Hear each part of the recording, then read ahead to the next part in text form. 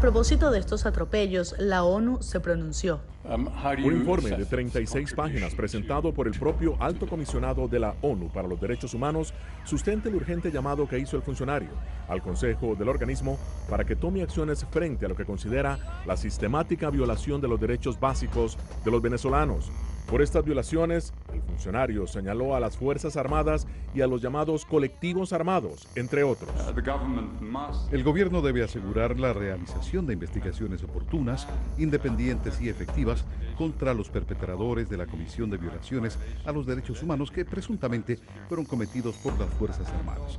También de los abusos que involucran a los colectivos armados y a los manifestantes violentos los investigadores de la ONU denunciaron directamente al gobierno de Nicolás Maduro. Creemos que las autoridades respondieron a las manifestaciones con represión. Una represión que ha tomado forma en una extensa violación a los derechos humanos lo que desde nuestro punto de vista evidencia la existencia de una política dirigida a aplastar a los disidentes. Funcionarios y exfuncionarios relacionados con la petrolera estatal venezolana PDVSA o con el Centro Nacional de Comercio Exterior, CENCOEX, entidades que según el Departamento del Tesoro están fuertemente asociadas con la corrupción del régimen venezolano, conforman el tercer bloque de sancionados. Simón Serpa, vicepresidente de Finanzas de PDVSA, presidente del Banco de Desarrollo Económico y Social de Venezuela y presidente del Fondo Nacional de Desarrollo de Venezuela. El Departamento del Tesoro asegura que según un informe de una comisión de la Asamblea Nacional, de la petrolera desaparecieron aproximadamente 11 mil millones de dólares entre 2004 y 2014. Carlos Malpica Flores, que hasta enero de 2016 fue vicepresidente de finanzas de PDVSA y tesorero de la Nación, sobrino de la esposa de Maduro, Cilia Flores.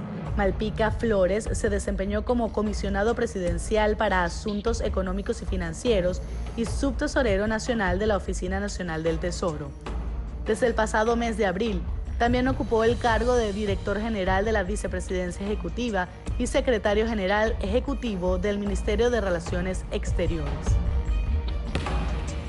Rocco Albicini Serrano, presidente del CENCOEX. Según el Departamento del Tesoro, el mercado negro que rodea al régimen de tipos de cambios establecidos por esa entidad es un importante motor de la corrupción en Venezuela. Alejandro Fleming Cabrera, expresidente del CENCOEX y actual viceministro para Europa del Ministerio de Relaciones Exteriores de Venezuela. Desde el año 2006, Fleming ha estado en diversos cargos de la llamada Revolución Bolivariana, siendo embajador de Venezuela ante Bélgica y Luxemburgo, representante permanente ante la Unión Europea con sede en Bruselas, viceministro de Relaciones Exteriores para Europa, ministro de Turismo, ministro de Comercio y presidente del Centro Nacional de Comercio Exterior. Para el venezolano que está sumergido en esta crisis, es difícil comprender la efectividad de estas sanciones. Esteban Gervasi, analista político, explica los alcances económicos. Todas esas personas, el caso de, de Tare, eh, William Zapp, el caso de Tibisay, tienen inversiones en Estados Unidos, tienen cuentas en dólares, tienen tarjetas de crédito en dólares. Elías Agua también está dentro de la, lista. La gente tiene que entender que estas sanciones no solo afectan el territorio americano, afecta todo lo que toca un dólar, todo, porque las sanciones se aplican a todo el circuito de transferencia de banco, uso de tarjeta de crédito, eh, eh, uso de, cuentas en el exterior de acuerdo de bancos suizos, de bancos europeos, de bancos en Sudáfrica. Sí, eso sí les pega. Y en el más reciente caso, Mariano de Alba, internacionalista, explica cómo se produjo las sanciones por parte de la Unión Europea.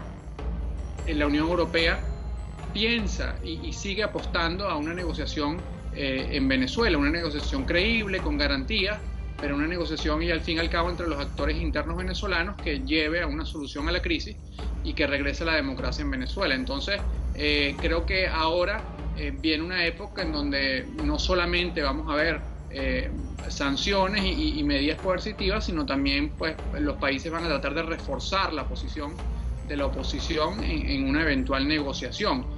Las sesiones de la OEA para debatir los casos de violaciones a los derechos humanos en Venezuela son una muestra de que el tema seguirá en la palestra internacional por mucho más tiempo. Gracias a Dios por habernos permitido llegar aquí con bien y gracias a ustedes por brindarnos la oportunidad de dar a conocer la historia de, nuestro hijo Juan Pablo Pernalete Llovera. Es así como la voluntad de más de 30 países se ha impuesto en un firme intento de ayudar en el restablecimiento del orden democrático en Venezuela. Pese a ello, la actitud dictatorial y los abusos sistemáticos están a la orden del día frente a un pueblo agobiado por el hambre, la miseria y el dolor.